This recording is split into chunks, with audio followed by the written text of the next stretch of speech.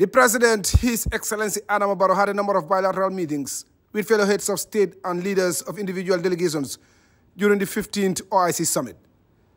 President Barrow and his Sierra Leonean counterpart, His Excellency Julius Maada Bio, discussed bilateral relations between the two countries and reaffirmed their joint commitment to consolidate the existing excellent fraternal relations between Banjul and Freetown. President Barrow also received the President of the Republic of Djibouti, His Excellency Ismail Omar Guelleh. The two leaders held talks to discuss the situation in the Middle East and the Horn of Africa and renewed their joint commitment to work together to promote peace and development. A delegation from the People's Republic of China, led by the Vice Chair of the Standing Committee of the National People's Congress, Zheng Jianbang, also called on the President. Mr. Zheng is a special envoy of Chinese President Xi Jinping and his representative at the summit. His meeting with President Barrow was meant to reassure him that China stands ready to work with the OIC to deepen cooperation. Other delegations also held bilateral meetings with President Barrow. The Foreign Minister of the Islamic Republic of Pakistan, Muhammad Ishaq Dar, congratulated the Gambia for hosting a successful summit and expressed belief that President Barrow will successfully steer the affairs of the organization in the next three years. He spoke of his country's readiness to partner with the Gambia to enhance economic cooperation in diverse areas. Uh, we have a great scope. Uh, it's A, to begin with a Muslim country. The trade volume right now, the affection and sincerity uh, is tremendous both sides. We, we, we love all of our Muslim, uh, you know, brotherly countries. Uh, but uh, the volume is very small because of obviously the size of the country, the population, but uh, uh, you know, apart from that, there are many areas where we can do, uh, you know, we can increase the trade volume.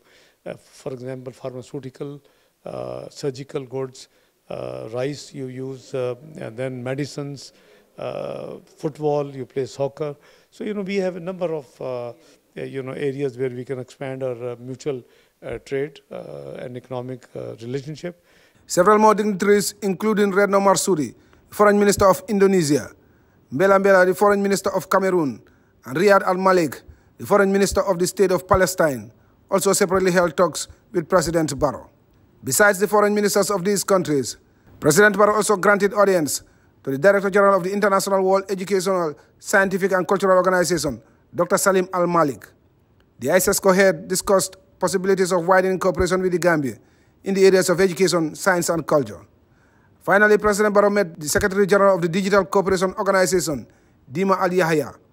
Ms. Al Yahya said her organization is committed to partnering with the Gambia to provide knowledge in terms of digital economy and described the summit as a platform to share experiences on enhancing cooperation in technology. We have been uh, very fortunate to sign a, uh, an MOU and become uh, uh, hopefully an observer to the OIC to help all the uh, uh, member countries of OIC.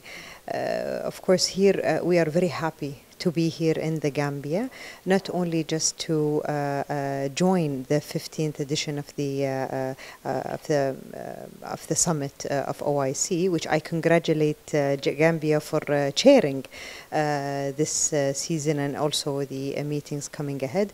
But also, we're very honored to have Gambia as a member state in the Digital Cooperation Organization, and that showcases the forward thinking of the Gambia. The foreign ministers and heads of the delegations that met the president all praised the Gambia's hosting of the summit and reassured that they will work with the new chairman, President Barrow, to promote the values of the OIC.